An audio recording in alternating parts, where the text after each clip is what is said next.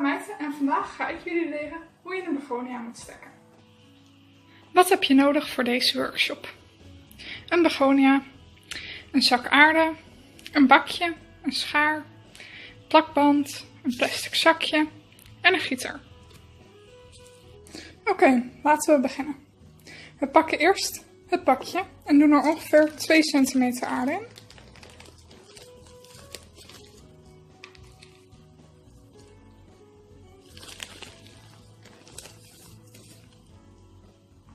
Doe dit trouwens wel op een plek waar het vies mag worden, want um, het kan er een beetje naast gaan.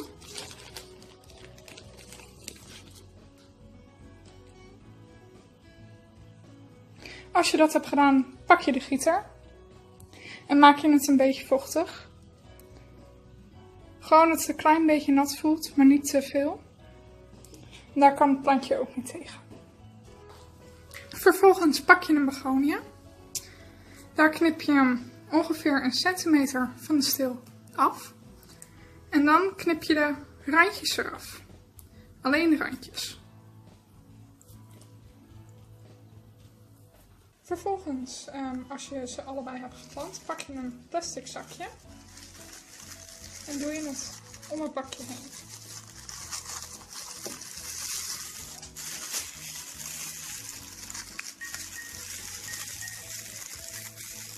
Dan pak je de plakband.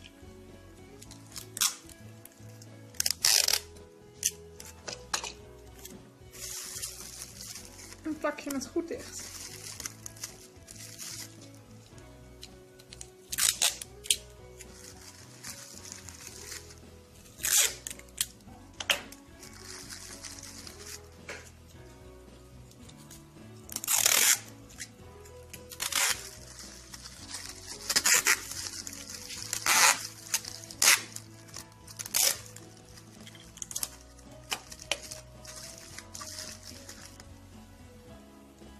Kan het plantje natuurlijk niet ademen.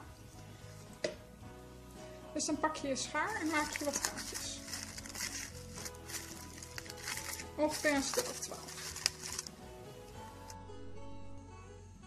Als je het zakje eromheen hebt zitten en er gaatjes in hebt geprikt, zet je ze voor drie weken weg in de halve zon. Dan moet je op een gegeven moment zoiets krijgen zoals dit.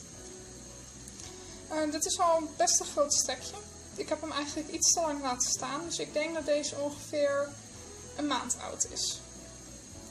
Um, het enige wat je dan moet doen is het overplanten in een potje. Dan pak je het stekje voorzichtig, zodat je de worteltjes niet beschadigt. Je kan, zet je hem eventjes opzij. Dan pak je de aarde en vult alvast iets met de aarde. Dan pak je een plantje die doe je er dan vervolgens ook in.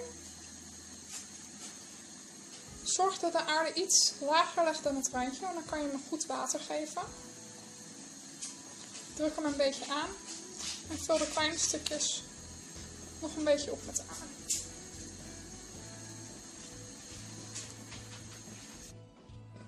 En dit was het alweer. Uh, wil je nou weten hoe je jouw plantje moet verzorgen als hij later groot is? Kijk dan even in de beschrijving beneden. En uh, ik hoop dat jullie hebben genoten.